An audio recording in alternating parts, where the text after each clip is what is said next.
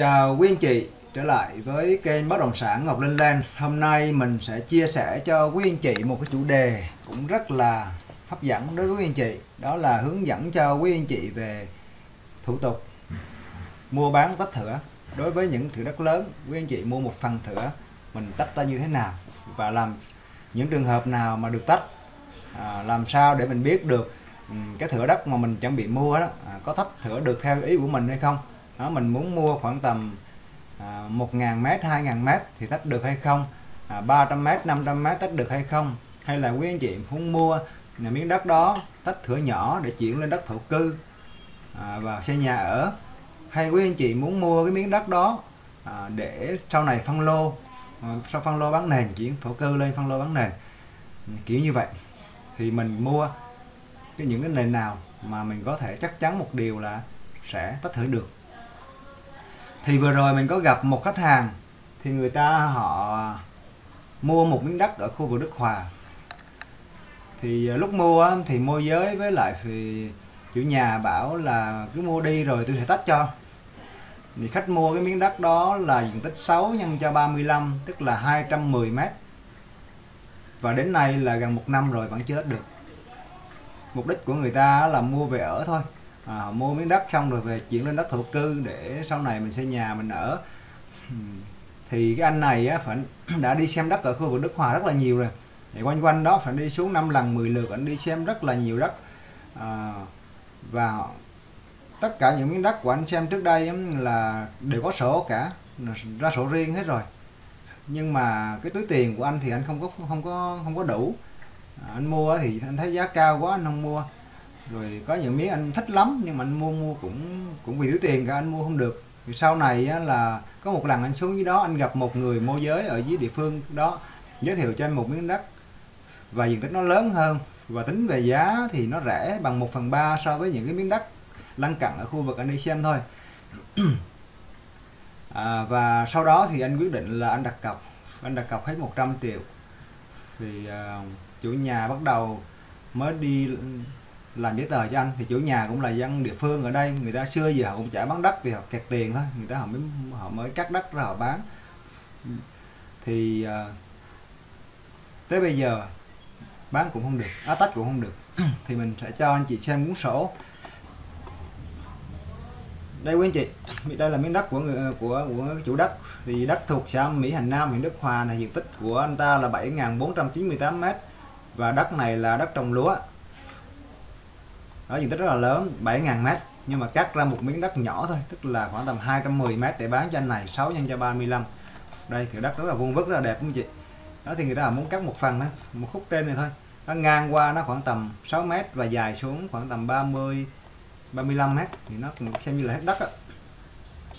đó thì muốn cắt ra như vậy bán cho anh. Nhưng mà tới bây giờ vẫn không chuyển được. Thì mục đích của anh đó là anh mua à, anh mua để anh chuyển lên đất ở và anh xây nhà thôi. Đó. Thì à, tại sao như vậy?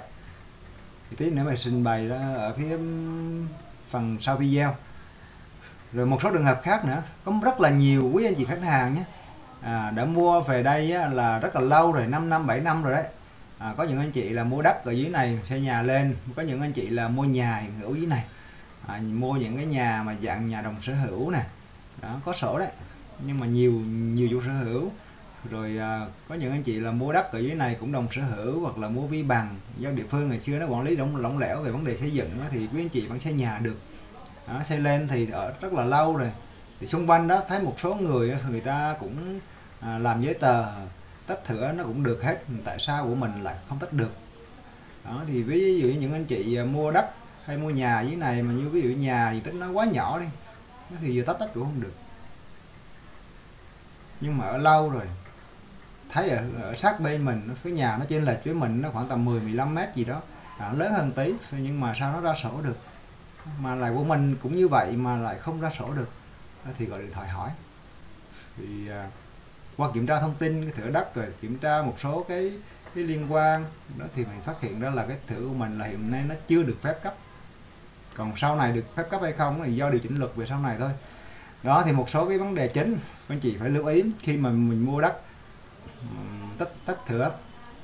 Thứ nhất, anh chị mua đất, tách thửa thì điều đầu tiên quan trọng nhất là cái chủ đất đó nó phải có sổ và đồng ý bán cho anh chị.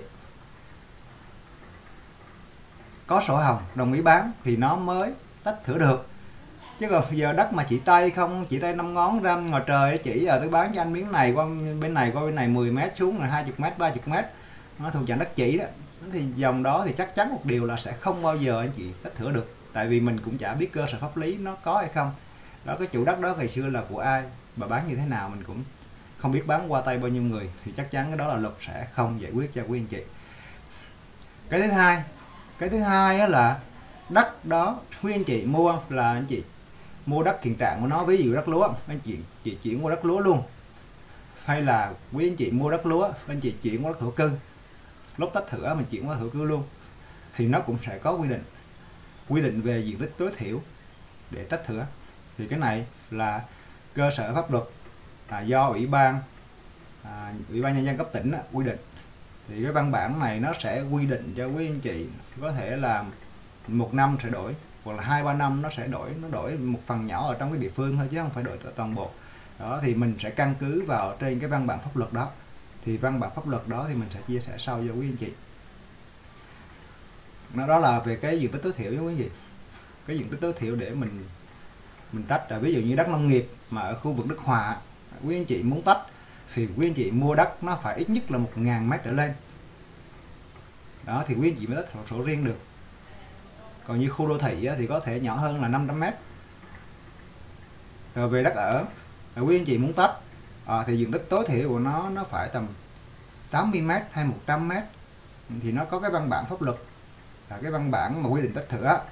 Đó mình sẽ căn cứ vào từng khu vực từng vùng đó để mình xác định là cái miếng đất đó là tách được hay không. Đó là cái thứ hai tức là diện tích tối thiểu mà mình có thể tách được hay không. Rồi thứ ba là anh chị muốn mua miếng đất đó mà để chuyển lên đất ở. Đó như cái trường hợp mình mới vừa giới thiệu cho quý anh chị đó. Thì cái khu dân cái cái khu vực mà mình mua như vậy á, thì nó có nằm ở trong cái quy hoạch tổng thể của xã đó của phường đó. Là được chuyển lên thổ cư hay không? Hay là hiện nay cái quy hoạch hiện trạng ở khu đó nó vẫn là đất nông nghiệp? Hay là cái quy, quy hoạch hiện trạng ở khu vực đó hiện nay nó là đang là đất khu công nghiệp hay đất công đất công trình công cộng chẳng hạn. Thì cái mục đích mình làm là sai rồi. Mình đang muốn là muốn chuyển thổ cư nhưng mà cái khu đó hiện nay nó đang là cái đất đó nếu như mà được chuyển thì sẽ chuyển lên đất khu công nghiệp chẳng hạn. Thì anh chị mua cái đất này để làm nhà kho nhà xưởng nữa thì rất là tốt nhưng mà mua à, chuyển để đất ở thì nó không được. Thì chắc chắn là cái thửa đất đó nó cũng sẽ không thể được chuyển được ừ. thêm một cái thứ tư nữa. Nếu như quý anh chị mua miếng đất đó diện tích nhỏ có nhu cầu về ở tách thửa ở thì cái yêu cầu dù cái khu vực đó nhé, nó được quy hoạch là đất thổ cư rồi. Tức là khu đó nó sẽ quy hoạch cho quý anh chị là đất lúa đó nhưng mà cái khu vực vùng này tôi sẽ à, cho quý anh chị chuyển thổ để làm khu dân cư. Đó nhưng mà nhưng mà nếu như bây giờ quý anh chị muốn chuyển lên thổ cư, thì thêm một cái lý do, cái yếu tố nữa, đó là cái miếng đất đó nó phải có đường nha quý anh chị. Muốn chuyển lên thổ cư, nó phải có đường. Anh chị xây nhà trong đó, nó phải có đường vào. Chứ còn cái khu đất mà nó không có đường vào thì anh chị xây nhà đường đâu vào. Đó, thì thêm một cái yêu cầu nữa là khu vực, cái miếng đất đó phải có đường. Và đường này là cái đường hiện hữu và được nhà nước công nhận nó là đường chứ không phải là một cái khu đất rất là to. Anh chị ủi một phát một trải đá đổ bê tông đổ nhựa xong rồi bảo là đường xong rồi gì tách thửa là nó không có đúng. Và cái này là nếu như mà anh chị làm cái đấy thì đối với những cái nhà đầu tư lớn đó người ta họ về họ mua một miếng đất họ lập dự án lập quy hoạch abc các kiểu trình lên phòng tài nguyên trình lên tỉnh chẳng hạn. À, những cái dự án lớn trình lên tỉnh những cái dự án nhỏ nhỏ thì trình lên phòng tài nguyên lên huyện đó thì người ta họ cấp duyệt à, cấu cấu cơ sở hạ tầng nó ổn phù hợp quy hoạch chẳng hạn thì lúc đó người ta họ mới cấp đó là cái đường và xung quanh đó mới được tách thửa đó thì đó là những cái trường hợp cho chủ đầu tư rất là lớn. Còn hiện nay mình là cá nhân đó, nên mình chỉ mua những miếng đất mà nó hiện hữu như vậy thì mới chuyển lên thổ cư và tách thửa được. Còn nếu như không thì cái miếng đất đó chỉ có thể tách thêm cái dạng đất nông nghiệp hiện hữu. Nó đất lúa thì anh chị chuyển tách thửa theo đất lúa mà đất cây lâu năm thì anh chị chuyển tách theo đất cây lâu năm. Nó là ổn nhất đó thì đó là một số cái thông tin mà mình cung cấp cho quý anh chị để quý anh chị hiểu hơn. Khi anh chị à, muốn đi ra phía ngoài những cái khu dân cư quý anh chị mua đất và có sự lựa chọn nó nó nó phù hợp với cái nhu cầu thực tế của quý anh chị à, tránh trường hợp đó là gặp chủ nhà hay là môi giới địa phương người ta cũng không hiểu về cái quy định pháp luật không hiểu về à, cách tách ừ, thửa. À, cứ thấy gì đất đẹp à, và có người mua thì người ta họ bán thôi. Họ bán xong thì quý anh chị khiếu nại khiếu kiện gì đó có thể cũng đánh lại tiền được nhưng mà đó là cái câu chuyện về sau này. Còn cái thời gian mình đi khiếu nại khiếu kiện này kia thì nó rất là dài rất là thời gian rất là nhiều mất thời gian của mình. Nên để hạn chế những cái rủi ro nhất thì quý anh chị phải nắm những cái vấn đề này. Thì về cái vấn đề mà à, quy định à, diện tích tối thiểu như thế nào ở khu vực à, à, nào nó như thế nào thì mình sẽ giới thiệu cho quý anh chị trong cái video tiếp theo. À, quý anh chị quan tâm á, thì và có thể đăng ký ờ, đăng ký kênh để theo dõi những cái video về hướng dẫn về tư vấn pháp luật tư vấn về bất động sản trong những cái video tiếp theo của mình. Và chốt lại ở cái cái, cái vấn đề này thì quý anh chị khi mua bất động sản quý anh chị phải tìm hiểu rõ. Khi anh chị hiểu nắm được cái luật chơi rồi thì, thì nắm được cái, cái cái quy định pháp luật nắm được cái cách chơi thì quý anh chị mới làm chủ được cuộc chơi chứ mình không thể nào à, mình giao tiền cho một người mà cũng không biết là người tại người đó người ta có hiểu rõ hay không. Và mua bất động sản nó sẽ vướng rất là nhiều về đến pháp lý. Tiền chúng ta bỏ ra một cục nhưng mà nếu nó vướng thì sẽ dính luôn đó. À, chứ không phải mình bỏ ra 10 đồng mà mình có thể lấy lại được một đồng hai đồng trong đó thì nó không phải. Bỏ ra 10 đồng phải lấy lại hết hoặc là lấy được nhiều hơn. Còn mất nhiều khi là mất trắng quý anh chị. À, cảm ơn quý anh chị đã theo dõi video. Nếu như quý anh chị quan tâm hay là có những cái cái gì đó nó đang cần thì quý anh chị có thể comment ở phía dưới. Mình sẽ hỗ trợ thêm cho quý anh chị. Và hẹn gặp lại quý anh chị ở những video tiếp theo.